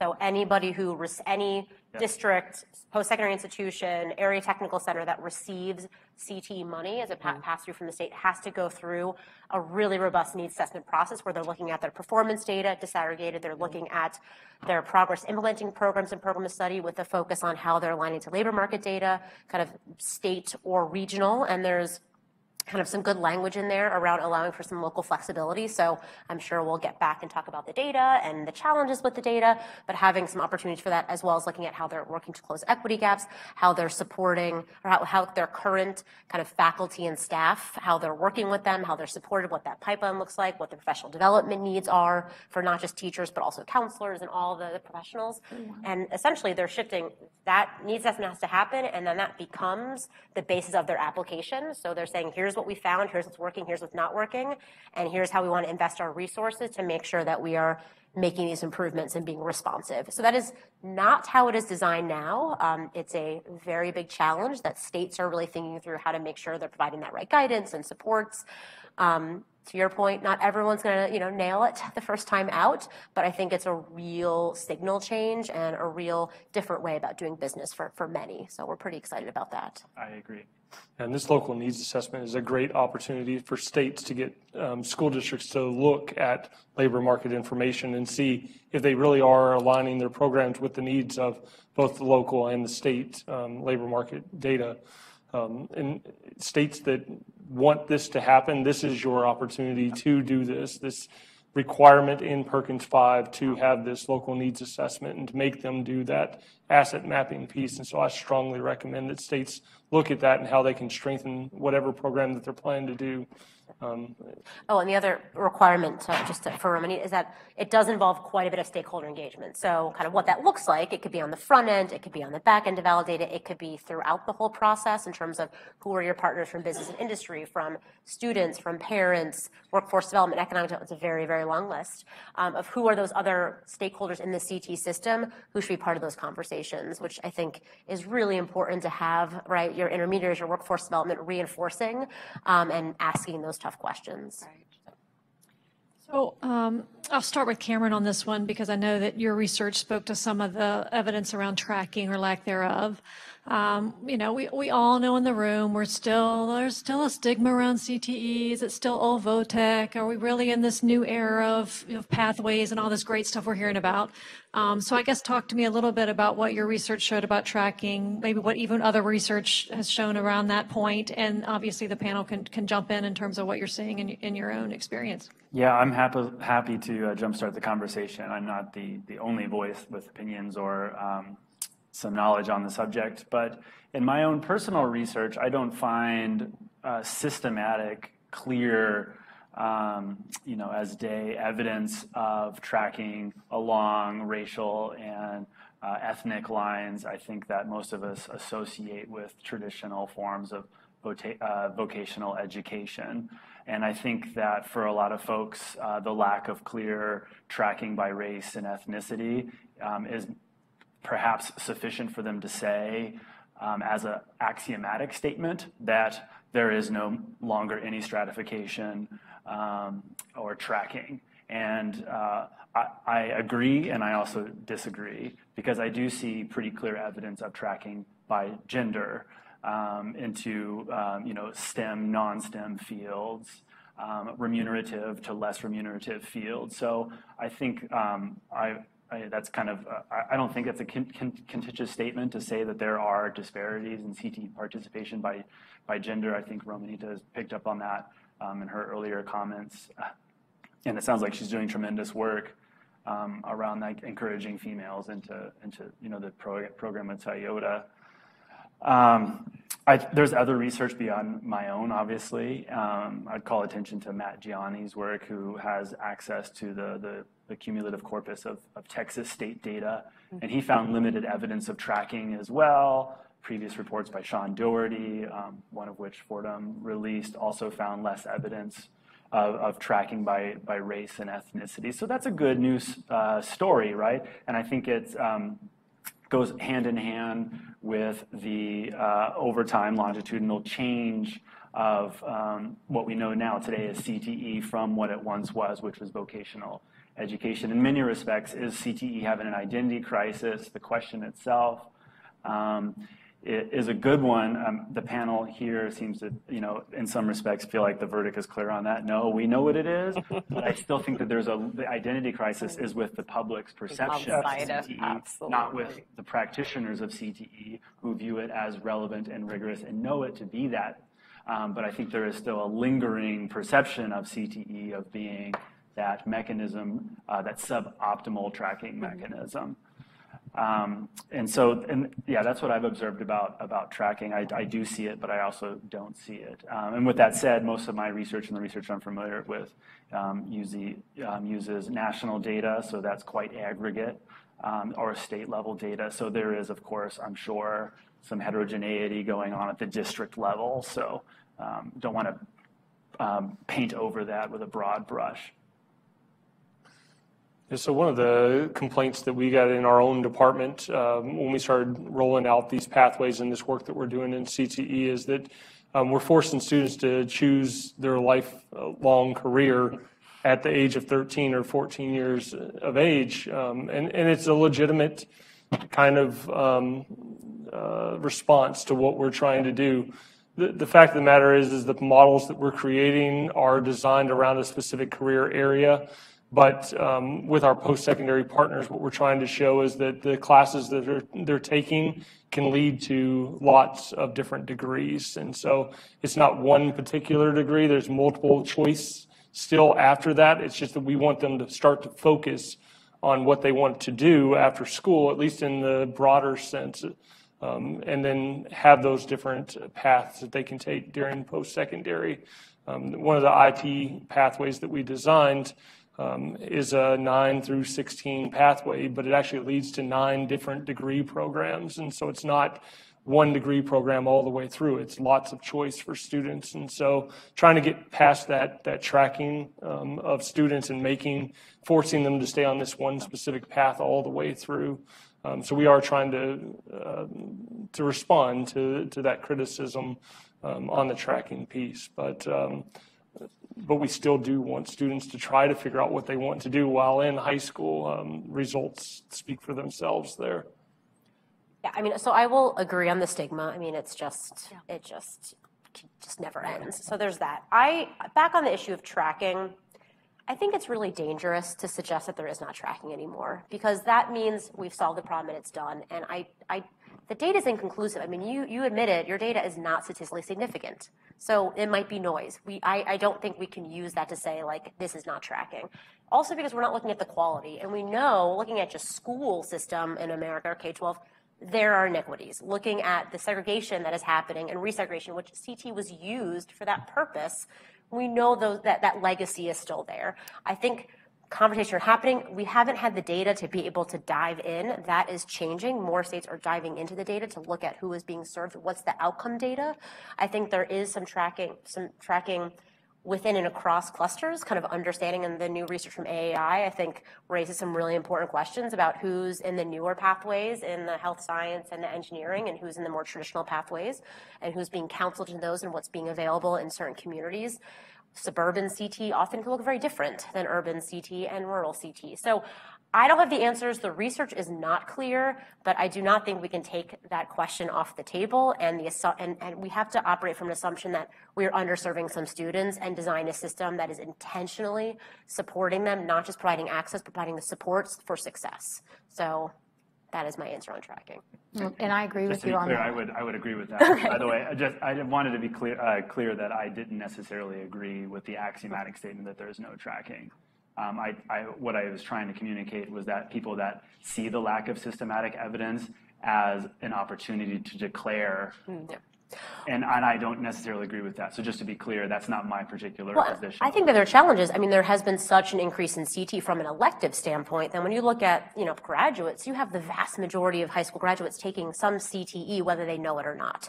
So, I mean, when you shift to who's getting the intentional kind of treatment of taking the sequence of courses, but there's still a lot of work in terms of the noise kind of with, you know, between and across clusters, between and across programs, between and across schools, that I think merits a lot more research to really understand what is happening and what is not happening. Totally agree. I think, yes, we, we see a lot of women in our health science program, so we try to target our boys. We see a lot of boys in our STEM program, so we try to target our girls in order to gauge and bring in that interest from them. But, what we do know one thing is that um, uh, the counselor, the counselor who sits and meets with those students and actually has the influence to create their trajectory. And so one thing that we had discovered, at least in the past, and what I've read in, in, in, in practical applications with other people, was that counselors were predetermining what, where that student should be based on how they came in eighth grade, based on where they were at in ninth grade. And, and that was such a disservice to kids. It's such a disservice to kids. And it's not the counselor's fault per se in terms of where they had been at. Counselors need to be well informed. They need to be receive the right the right information, the right professional development. They need to be supported by the right schools, by the right CTE directors, by the right uh, superintendents. I'm very I'm very lucky. I can't speak for other schools, but I know I hear you. There are other schools that aren't. It hurts my heart when I go visit those schools and go it hurts it for those kids because they, there's so much that can be done. And, and, we have a very progressive superintendent and a very progressive CTE uh, specialist that really works hard with all of our schools in order to provide those opportunities. Is it perfect? Do we constantly try to strengthen it? Yes. But one area that I believe, like Kate said, yes, the, the data is just not there to support that we're not tracking. We're tracking and we're trying to move as many students that we can that are non-traditional into those roles. And we're finding that we're, we're pushing that, we're pushing that envelope. It, it's just not happening overnight. I think some of it is happening also just based on poverty. Mm-hmm. Um, and so our school districts that are serving high poverty areas um, may also have less rigorous, less uh, mm-hmm. academically challenging, or opportunities to offer more more options in these high demand, high wage CTE pathways. So it may not be intentional necessarily, but but inevitably they are serving our students of color and they are serving um, really students who, who would benefit more um, as Kate mentioned earlier, suburban CT programs look very differently. And we, we see it there in San Antonio with 15 different school districts.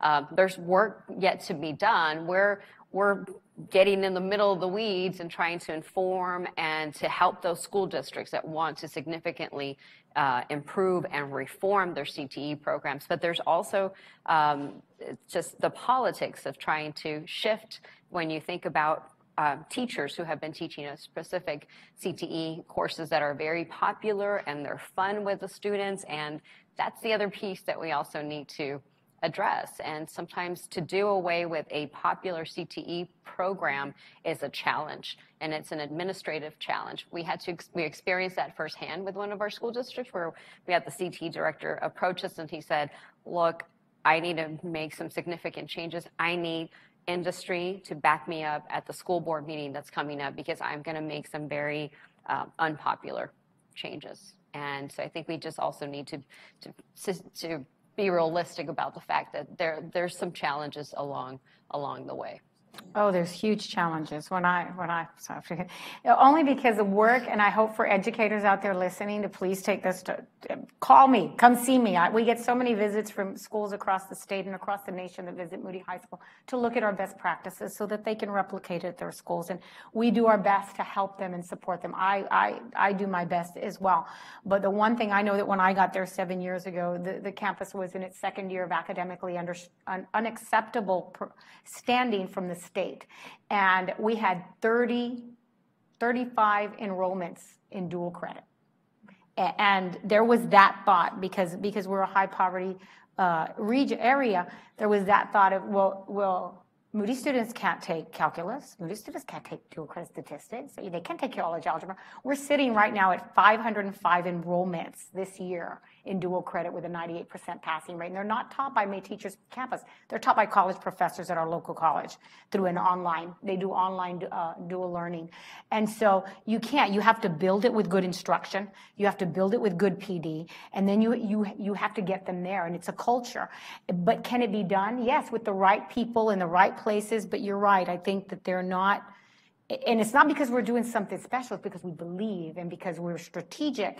But you can expect from the states down to the CTE departments, through the CTE campuses, through your superintendents and through your CTE directors, down to your principals, and then together with your teachers. It's got to be a structure that works. It's got to be a structure that will not accept failure. And and it's it's it's I could, sorry, I'm on my soapbox. I live and breathe this every day, and it's hard, and it ages me, but it should. but it should. Um, and, and not to resurrect the tracking issue one more time, um, although it sounds like we're still kind of on it.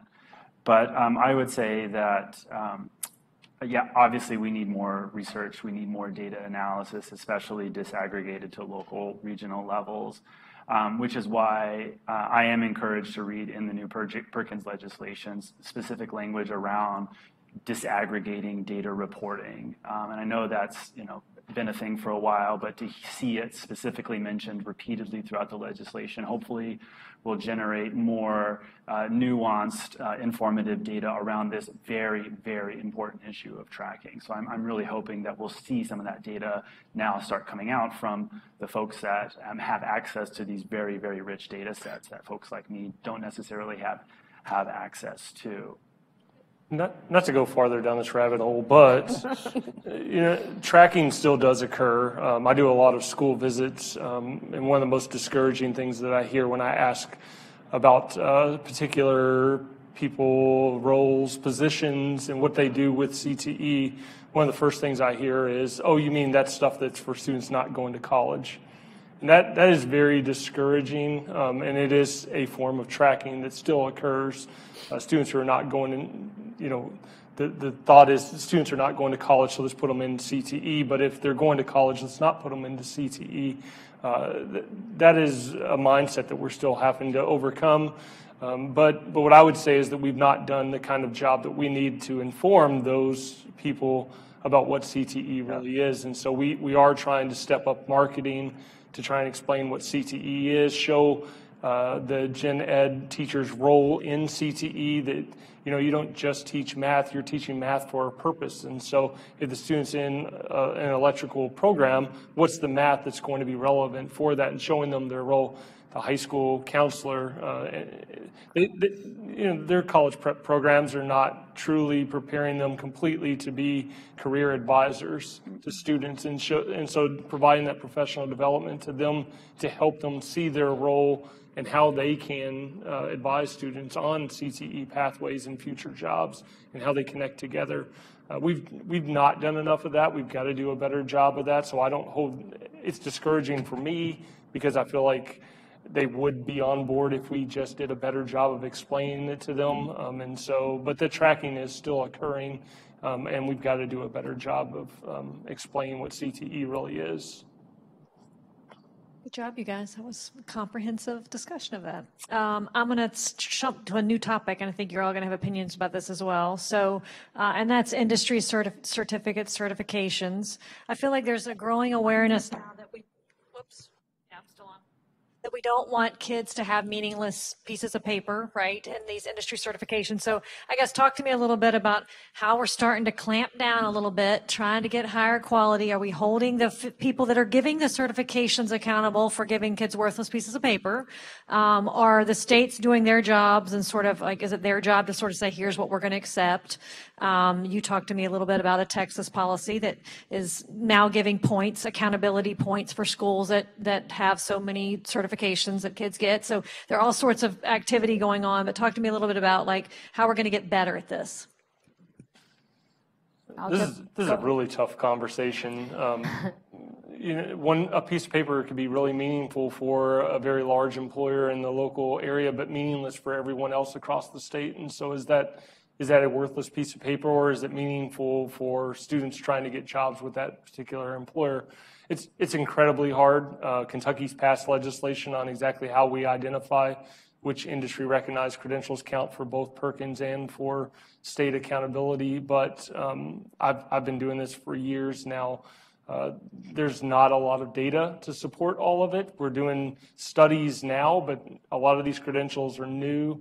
Very few students have earned them, so showing outcomes based on credentials is extremely hard. Um, but it's, it's a very convoluted one. We have narrowed down our list in Kentucky through the new legislation, which does begin with our local uh, workforce investment boards and their employer partners. Um, but even in each of the local areas, let, us say 10 employers go to talk to the local uh, workforce investment board in that area. Seven of them think that it's great. The other three could care less about that particular credential. And so where do we define uh, credential of value and how do we define that? Um, we have a very uh, robust process, I would say, in Kentucky for how we do this, but it's still not perfect and it still leaves a lot of question as to whether or not everything on our list carries value with it. Uh, unless you were a high school that uh, focused on getting your kids to get a job after high school with a credential, then that was something that you focused on. I can tell you those were, were few. Um, our state accountability for any school principal and school district is our big, it's our big carrot. Um, how are we going to look? Uh, are we going to have an A, a B, a C, or a D? Because it doesn't matter what you do all year. It's what happens on that one day of testing or on now on that uh, on that industry credential. What Texas recently did uh, over the last two years was they created part of our accountability framework. Uh, 40% of it is tied to college, career, and uh, military readiness. And so part of that is if you receive an industry, if your if your students graduate with an industry uh, certified credential that's on their approved list, um, then you get a point on your accountability for that. And that's that is very weighty and it has suddenly just opened everybody's eyes and, and garnered everyone's attention clearly. So everyone's going back backwards design and looking at the industry credential and then say, I'm going to build a CTE program around that. Um, and that's fine as long as you're doing something in terms of that's going to meet with your with your labor market. You're clearly, excuse me, not going to follow a credential for like Toyota. They're not in Corpus Christi. I don't have car manufacturing in Corpus Christi, so that's not going to be a viable a credential for us to go with. We're going to go with a credential that we know our kids locally will get hired. Um, and so, but now that they've tied it to accountability, going back to that, it, it's become now in the forefront of everyone's uh, uh, viewpoint. And so from our lens, those industry credentials are big. They're huge. Mm-hmm. And then there's a cost now because when I went to the um, the state conference, there was a lot of people there talking to our Texas Education Agency, which is our state agency, and saying, you know, these credentials, oh, were great. We were looking at them and stuff, and now suddenly their prices have gone up interestingly enough, because you know what, they made your list. And so, you know, the, the, you know, the advisors from over there were like, well, um, um, there was there was no one, you know, that cost that cost money making uh, side of it. So now we're we're using CTE in order to facilitate our students into still receiving those credentials because no one seems to have the answer to that other than you have to pay it. And so um, so we're kind of there's a whole lot of stuff that's coming out of the closet with those things. Yeah, I mean, building on on that, it, is a really complicated issue. I think there's a lot of attention. People think it's like the silver bullet. Bottom line, it isn't the silver bullet. Um, I think it's really important that states have probably start more restrictive and and add versus putting everything on it because we know every employer in the building trade say, yeah, sure, OSHA 10 is really important, but that's a minimum expectation of being hired. That is not a credential of value. That's you sit in a classroom for 10 hours and you don't even take a test it's super important. You cannot get hired without it, but it also is not something that should be weighted in an accountability system the same way that an AW, an American Welding Society mm-hmm. credential, which requires an extensive more amount of experience and skill aptitude. I think the challenge is trying to force credentials for every single program and every pathway and every cluster, and it doesn't always make sense.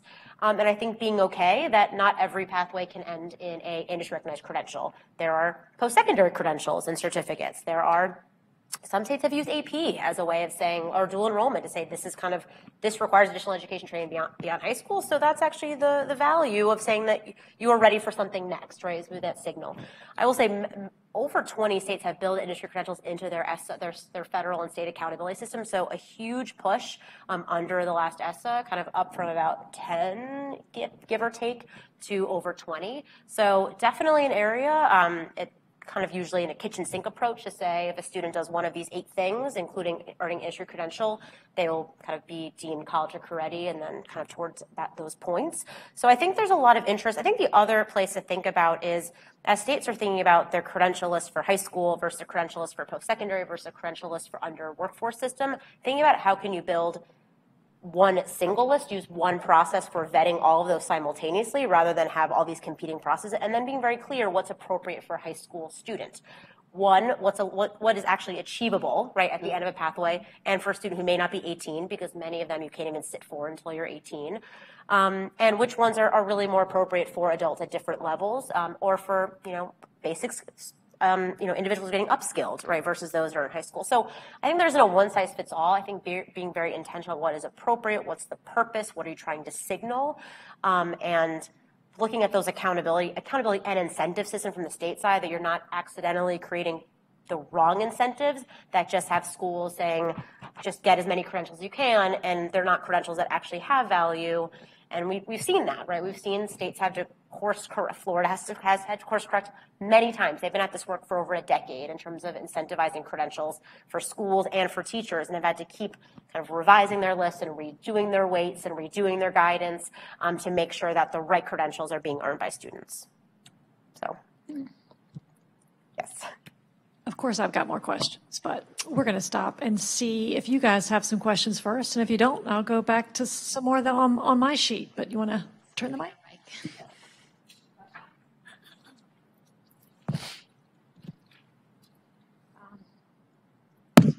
Hi, I'm Susan Sclafani, um, a former assistant secretary for what was vocational and adult education at the time. Uh, you've talked a lot about connections with the State Department and the, the high school, middle schools. What about the kinds of connections, particularly in San Antonio, to the community college and college programs. You just talked a lot about the credentialing needing to go through there, but how are you building the connections within your programs so that it goes all the way through from middle school to community college or college? So I'm not in the K-12 system. I'm sure maybe Corpus can speak to that, but we are seeing that alignment um, in the case of the Advanced Manufacturing Technician Program, which, which is a community college program um, that um, Toyota actually brought the FAME, the Federation for the Advancement of Manufacturing Education model from their Kentucky plant, and now we're seeing that in San Antonio is they are digging deep into the CTE program, so they're seeing alignment with the CTE programs that will then lead them into this two-year advanced manufacturing technician program. So we're seeing some of that, and we're also seeing some of our school districts also look at dual credit. So in terms of being able to graduate some students with associate's degrees, but then putting them onto pathways to post-secondary. So there are we are seeing some of that industry and post-secondary alignment happening with our CTE programs. I know that for us at, at, the high school level, we're very connected with our Texas A&M University Corpus Christi, Texas A&M University Kingsville, and our Del Mar College, our junior college that's in our community college that's in our city. And we just uh, started last year with a University of Texas through a dual enrollment um, OnRamps course courses that our teachers uh, teach in the classroom um, through um, through UT through UT training and prep.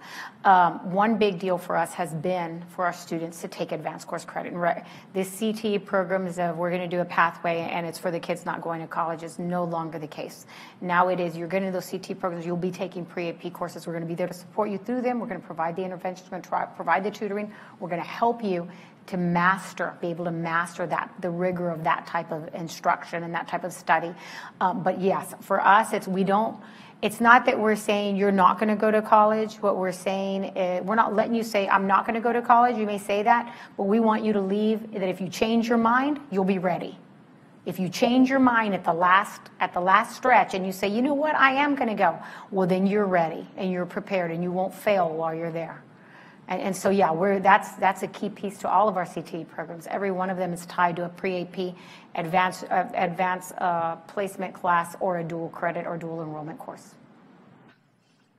And I would say that the Kentucky Community and Technical College System is one of our key partners on everything we do. They're on all of our task force. They're a huge player on our Perkins 5 uh, steering committee that we're putting together or that we have been uh, meeting with. Uh, they're definitely one of our key partners on the New Skills for Youth grant. Uh, all of our models, pathways that we're developing are designed with post-secondary at the table with us. Um, in addition to those, we have articulated credit agreements with post-secondary partners um, so that students going through our programs and meeting certain criteria earn college credit as part of that so that they can go ahead and get part of that degree program out of the way, um, regardless of what area it's in. And so that's that's both in our accountability system and in just our everyday working environment, the way we do things. So post-secondary, uh, we, we can't do anything that we do without post-secondary working with us. So um, happy to talk about that more with you, but um, they're key. They are not. Um, the community and technical college system is one system, and the Department of Education is another. But especially over the last three years, our partnership has gotten really, really strong.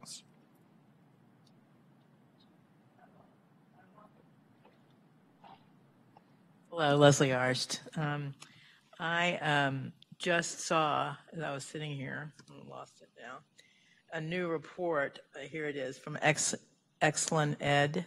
Um, and also, they've done a, a study in conjunction with Burning Glass Technologies um, that's talking about only, and it just came out, only 19% of credentials earned by K 12 students are demanded by employers. So, have you all seen this study? And I wondered if you could comment on it.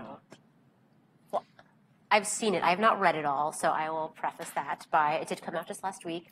I I mean, I think that's no surprise. I mean, I think that's not a surprise. I think part of this is there's a, a real challenge, as we've said, in terms of what the right list is. I think equally to the challenge is a lack of signaling from employers and a lack of con- con- um, consistency in terms of what they're asking for, um, and what's must have versus nice to have versus we never heard of it. Um, a lot of companies, large companies, just build their own credentials, right? So, um, which other companies may or may not pick up. So it's not tremendously surprising. I also think this is a relatively new space. I mean, there's some pathways that, you know, you look at transportation and everyone gets A certified. You look at welding and American weld. Or there are some that are very well defined, and there's a lot of now attention to kind of create new credentials or match credentials to other pathways that don't exist. And so it's not surprising um, that there is some misalignment, um, lack, I think lack of signaling, inconsistent lists, um, and then just the gap that not all clusters have a natural credential. I was curious about this. There are a lot of credentials out there that do have standing. uh, I don't know if you mentioned it or not, but, uh, but in the cybersecurity area, for instance, where there's even a name for it in the field, paper type, people who can pass the credentials and then have not had it. So that there's a lot of failure, uh, uh, attached to people who have credentials, who get jobs, they're high demand jobs and they're not ready. So I'm really just sort of trying to put this on your plate. Issues that, uh, I think will only get more so, uh, as people are doing random kind of credentialing, even if it's been, some of which have been accepted, but isn't doing the job. Well, I think in the CT, sorry, I know, I mean, I think within the CT space, no one should be getting a credential that has not taken the coursework. That, that is the capstone mm-hmm. experience of that credential, at least for K-12. I think in the adult space, in the workforce development space, yes. I mean, I know there was a New York Times piece about the coding kind of camps in mm-hmm. Appalachia, and these individuals were not able to be hired or be successful. So I think that is really important, having the credential be a capstone, be tied to that program of study is cr- critically important, which has other coursework and ideally has work-based learning and exposure to the workplace, which I know we're, me- we're, we haven't talked as much about. It came up a little bit in your continuum. So I know you can talk a little bit more about that, but yes on those things, but I don't think we're talking about a system where someone just sits down for a credential, gets their credential, and gets hired. Um, that's kind of hollowing out to the middle of our program. We think pathway first, and then credential kind of as that kind of final piece of that pathway. You, you can't replace work-based learning with a credential. Um, data shows that that work-based learning component is very, very important in students being able to actually do the job. So I, I don't want to get involved in that discussion too much, but I'll just say straight up that work-based learning is a key component in students being successful um, in, in a career. Uh, a couple of things on the data side, though, um, j- just throw out some data for you, Kate. The, the data shows that without the pathway, the credential is almost meaningless. Uh, the, I, I've looked at too much Kentucky data for students who have earned a credential but not been in a pathway and seen that the results are not equal versus a student who's gone through the pathway and earned that credential. There's a huge discrepancy in both employment wages and degree earning after high school. Um, so, so it's not the credential that, that makes the difference there. It's the pathway with the, the ultimate goal of being able to earn a credential and get those work-based learning experiences. Uh, back to the burning glass just a little bit. I've, I've worked with the burning glass data a lot over the last couple of years. Uh, Kate can't, you, you're so right. There, there's not a whole lot of credentials included in those job postings from employers. And so that makes it incredibly difficult to know what credentials are valuable. Um, and looking at burning glass data, one of the top credentials that's asked for are, are those MOS certifications that so many people want to downgrade.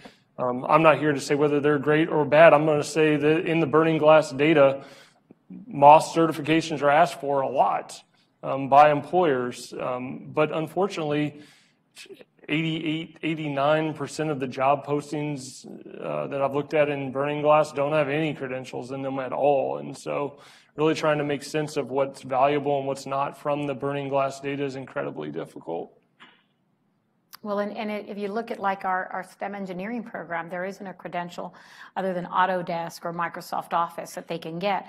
But what our employers are looking for, and even when they go on and they've hired them on for we'll get some kids graduate out of high school make $80,000 a year if they're, if they're hired as an operator at our petrochemical industry.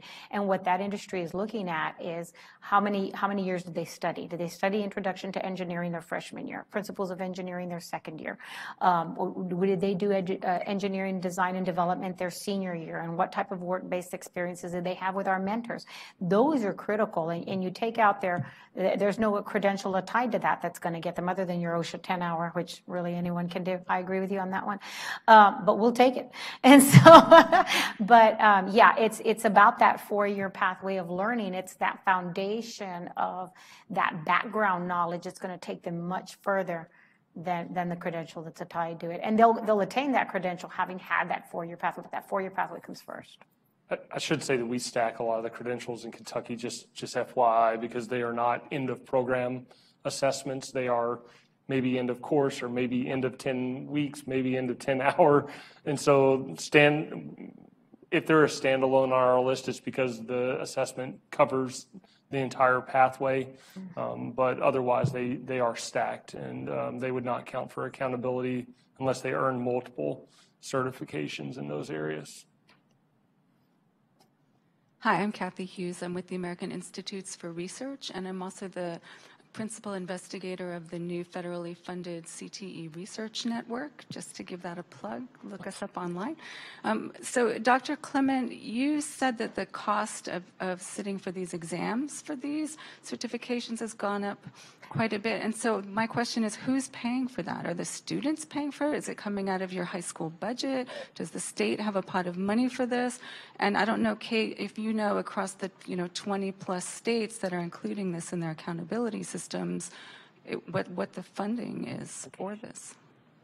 For us at the high school level, our CTE department does, it does come out of our CTE budget. So it is eating up more of that budget that we could use for instruction because it's part of their pathway and part of their instruction and required as part of their graduation program. So therefore, we fund that um, for them. We make sure that they're prepared. They've taken a lot of tests before, pre-test, to make sure that they're probably a sure pass. We have very, very few students that may not. Like right now, we've got our kids that took their uh, CNA certificate. It's a national exam for CNA. And so I had maybe two that barely missed it. So out of those two out of 40, you know, pretty good. Uh, but we go back, we reteach, and, and, and it's repaid for. And so um, it, it's things like that. But yes, it's, the, the cost is taken on by our CTE funds. Yes, ma'am. Yeah, I don't have, I mean, I don't have a definitive number. It varies from state to state. I mean, sometimes they'll use Perkins funds, they'll use state funds. Um, sometimes they'll pass it down to districts and require them to do it. Um, I've seen states pass it to districts, but then have a separate pool, use the reserve funds from Perkins to kind of offset that cost. Sometimes it is passed to students. That does happen for sure. Um, I saw one school that had a student, a school-based enterprise where like, through their work-based learning, they were, I can't remember what they were selling, but they were selling something. They were, you know, whatever, creating, doing construction and selling, and they were using that money they raised to pay for credentials, which was amazing, but also heartbreaking that was putting the cost on them. Um, so I think it really varies. And as they grow, I mean, I think the hope is as they grow, you could have some economies of scale and you could have states going in together and broker better deals. That is really disheartening to hear that they are raising the prices. Um, that is that is the first time I've heard that explicitly in connection to it being put in accountability because it should really be the opposite, right? If there's more the assessments being held, then the states have more buying power, and so that's how it should be working but I have made a note of that already. That's novel and new, and hopefully someone, yes, takes care of that. So I can only speak for us, but school, school districts can use up to 25% of their Perkins allocation in, in our state to pay for industry certs. Uh, we provided $1.8 million of state funds to school districts this year to use for free reduced, free reduced lunch students to take industry certifications. Uh, we've got several foundations around the state that uh, pay for those industry certs for districts. But even in my own state, it varies from district to district to district. Some can afford to pay for them. Um, some get enough funding through us to pay for all of them. Some have to um, come up with the money or have students pay for their own industry certifications. So it varies even within one state as to how those things are being paid for. But we do try um, to provide funding for them so that it doesn't get down to the student level. Unfortunately, in some cases, it still does. Good question.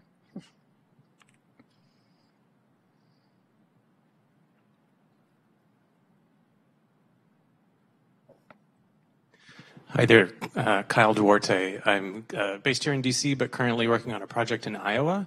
Um, as you may know, Iowa has the lowest unemployment rate in the country at the moment and a high manufacturing industry. Um, what the state is looking to do is to uh, create stopgap programs where they're looking at communities where workforce participation has traditionally been very low. So people with disabilities, um, re-entering citizens coming out of uh, incarcerated situations. Have you seen any success with these types of boot camp type programs that are looking to fill gaps? When we're waiting for students to come through the pipeline.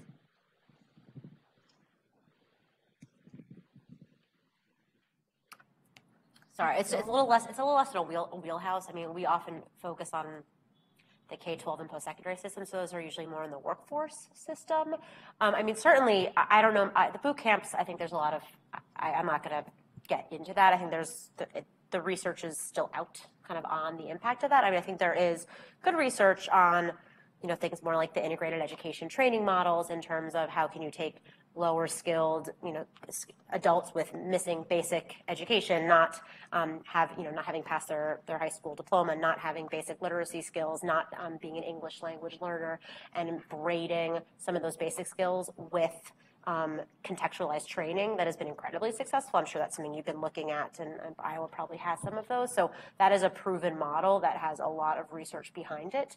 Um, and they can be up to a two-year associate, or they can also be very short-term, but really intentional at pairing kind of those additional support services with the you know the CT teacher um, or workforce development that can actually put that in context. So that's the one place I can speak to that we've I've seen the research and really feel strongly and positive about it. I don't know if there's other things you've done within Kentucky or seen.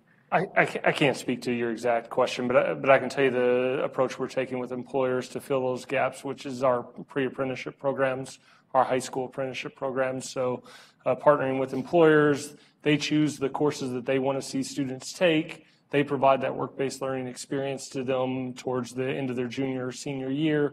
And so that's filling those those gaps in in those um, you know, it, it's not the boot camp program, it's, it's not the stopgap programs, but it is a proven model. Our apprenticeship program, our track program, just give it a plug there, um, is a proven model that works. Um, the student, the companies are uh, seeing a lot of success with that. They're filling their workforce needs through that, but, um, but, but specifically to your question, no, I don't, I don't have the knowledge there.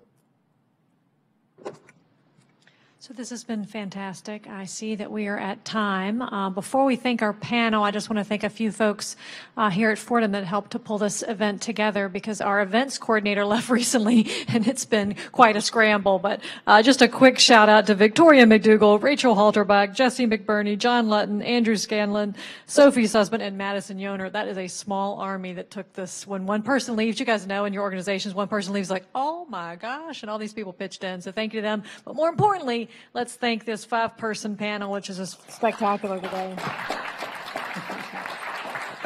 Thank you guys for coming. Really appreciate you um, spending some time with us today.